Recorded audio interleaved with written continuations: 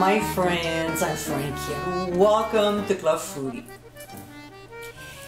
Every season comes with a bounty of fresh produce. And of course, I like to take advantage of it. From late spring until fall, the variety is incredible.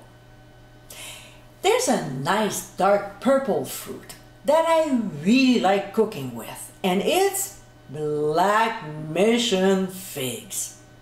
They're amazing for sweet and savory recipes and make great jam too. Mm.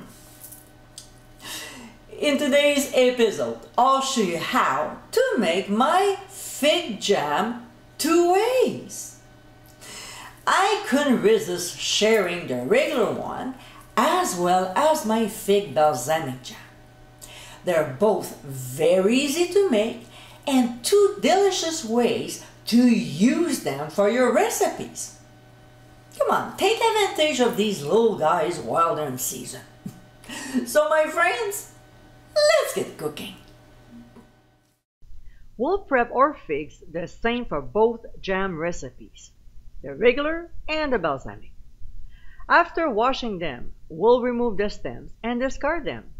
Then cut the fruits in quarters. That's it, done.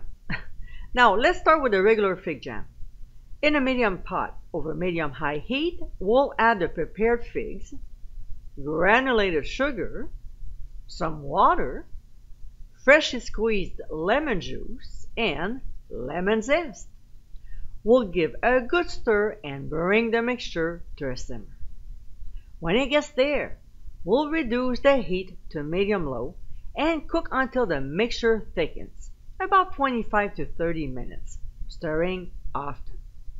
During that time, we'll start crushing them using either the tip of a wooden spoon or my latest favorite kitchen tool, a meat chopper.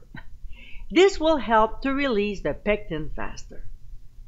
When the time is almost up, using an immersion blender, we'll process until the consistency is somewhat smooth, keeping some little chunks in it.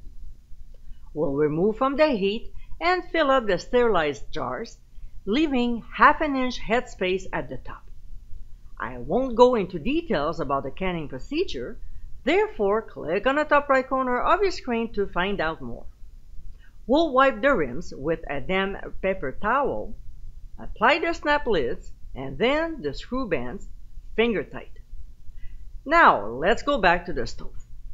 We'll place the jars in a boiling water bath and as soon as the water returns to a boil, we'll start the timer for 10 minutes.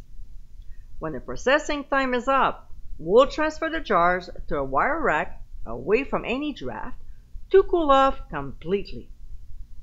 Now, let's make the fig balsamic jam.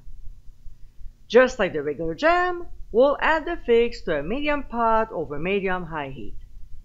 To this, we'll add granulated sugar, dry red wine, freshly squeezed lemon juice, some aged balsamic vinegar, and cayenne pepper.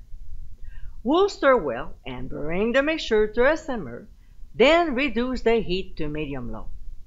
We'll cook for 20 minutes and like we did earlier, we'll break the pieces down using a meat chopper or the tip of a wooden spoon, whichever you prefer. When 20 minutes is up, we'll use an immersion blender and process. We'll now remove from the heat and repeat the same steps like we did with the regular jam We'll process the same length of time as well, which is 10 minutes. After that, when the processing time is done, we'll transfer them to a wire rack to cool off. I usually let the jars sit there for a good 12 hours without touching them. And my friends, this is our fig jam two ways. They're delicious and easy recipes to enjoy this fruit. With one sweet and one savory jam, you have a choice of condiments to pick from. This is a tasty change from your everyday regular jam. I hope you give it a try soon and be sure to visit clubfoody.com for ingredient amounts, directions, and more info. Until next time, my friends, bon appétit!